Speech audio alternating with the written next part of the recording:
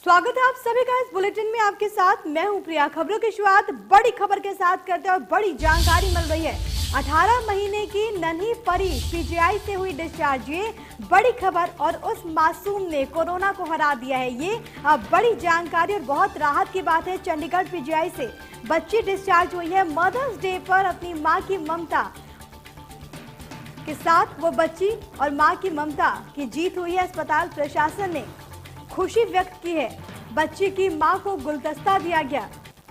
तो ये बहुत राहत की खबर खास तौर पर उस माँ के लिए और उसे मदर्स डे के मौके पर। इससे अच्छा और इससे बढ़िया कोई तोहफा नहीं हो सकता एक माँ के लिए। कि उसने अपनी नन्ही परी को जीत लिया। माँ की ममता आज के दिन जीत गई है तस्वीरें आपकी टीवी स्क्रीन पर। और ये जो तस्वीरें हैं, बहुत सुकून देने वाली एक खबर कि एक परी ने कोरोना को पटकनी दी है। विपिन परमार मेरे सहयोगी, तमाम जानकारी के साथ इस वक्त फ़ोन लाइन पर मौजूद है। विपिन, हम लगातार तस्वीरें भी अपने दर्शकों को दिखा रहे हैं और शायद जो खुशी है, उसको हम शब्दों में व्यक्त नहीं कर पाएँगे कि मदर्स डे के मौके पर एक माँ की ममता जीत गई है।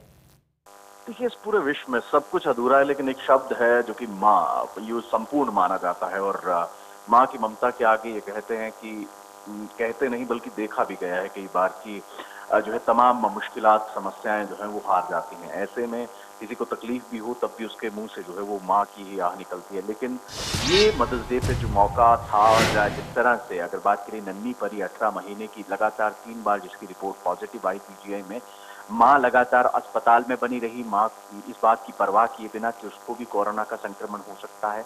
लेकिन माँ की ममता के आगे तमाम चीज़ें फीकी थी और तीन बार टेस्टिंग माँ की भी की गई, लेकिन माँ की रिपोर्ट जो है लगातार नेगेटिव आई और आज का दिन है। कि इस नन्नी परी से कोरोना जो है वो हार गया है।